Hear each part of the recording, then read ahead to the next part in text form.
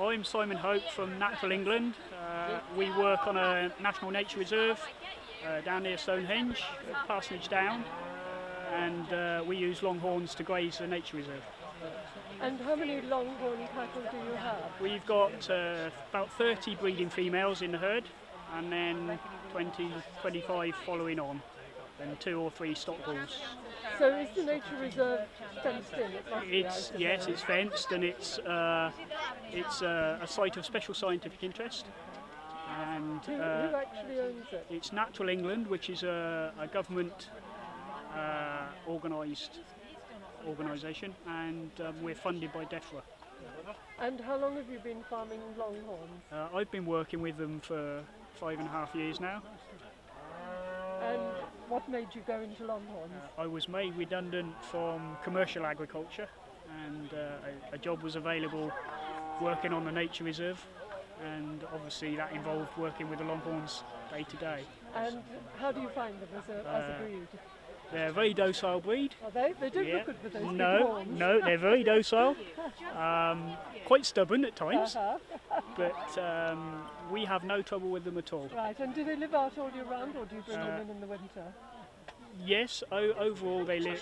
Majority of them live out, and they have to graze the nature reserve 365 days a year. That's part of the management plan on the reserve. And some of the calves, we wean the, the yearling calves off, and they come in for their first winter. Um, and once they become adults, then And they- are they they- raised primarily for beef? yes, these days. Originally, they came to this country as a dual-purpose breed. Where for- did they come from? Uh, saying has it that the Romans brought them into so England. they're a very ancient breed. That's right. Yes, that's right. And- And, are they a rare breed? Yeah, they were. They're they're now um, becoming more of a minority breed because uh, they've been very successful in, in raising the numbers. Um, the herd I work with here, the Stoke herd, is the oldest breeding longhorn herd in the country. Uh, it was formed in the 1930s, and at that time there were just 12 longhorns in the country. In the whole country. That's right. And, and these days there's three and a half, four thousand breeding females.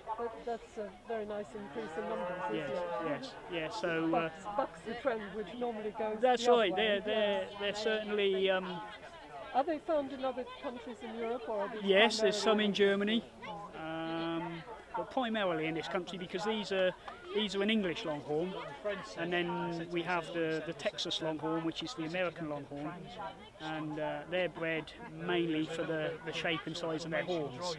Whereas with the English longhorn, it's primarily a beef breed. Well, thank you very much. And um, have you won some prizes Yes, today? we've got uh, Stoke Inca here who's um, won his bull class and he's actually Longhorn breed champion today. Very well done. So we're yes. very pleased with that. Yes, and then sure. uh, Inca and Holly here, she won the pairs. They won the pairs class together. Yeah, well, that's very good. Congratulations. I'm Thank glad you. you. had such a successful, successful day. That was a pleasure. Let's just hope the uh, weather holds off for the Grand Parade. Yes, that's right. It'd be a shame if it rained on the parade, That's right. it?